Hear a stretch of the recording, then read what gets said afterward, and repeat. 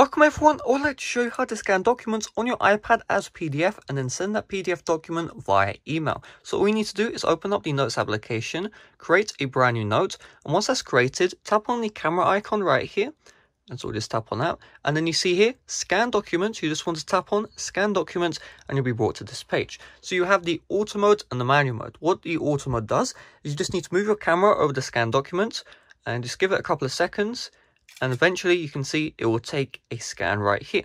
But you also have manual mode, so if you tap on this one and then just uh, tap on the picture here, what it will do is it will give you this preview and then you can move the edges so that you can have the perfect document scan and then you can just tap on either retake or keep scan here. We'll just tap on keep scan and uh, yeah, we're good to go. So what we're going to do is let's say you just want to delete the uh, first one that you took automatically. Just tap on the delete here and then done and then we'll just tap on save. So now we see here, scan documents, we can just tap on this one, and this is saved in the PDF format. So let's take a look at it together.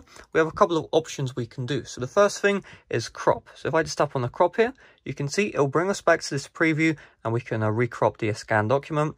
You can either cancel the changes or just tap on done here. You also have a bunch of other options. So we tap on this, and you can see I can rotate the uh, document as well. And if we tap on this right here, you can change the color of the document, black and white, grayscale, uh, photo, color, all that good stuff. And if you tap on the plus here, we just uh, get the document again. You can essentially add, you know, your another scan, multiple pages. So I'm just going to go like this and just use the auto mode.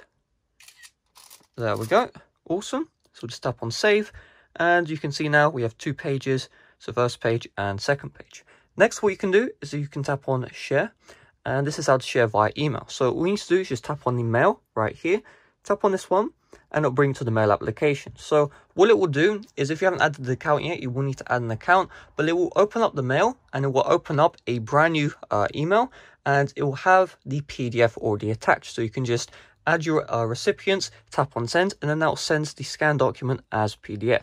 Finally, if you want to, you can tap on the share and markup and you can see here you can add more you know drawings all that good stuff to the document if you would like. Tap on done if you're done.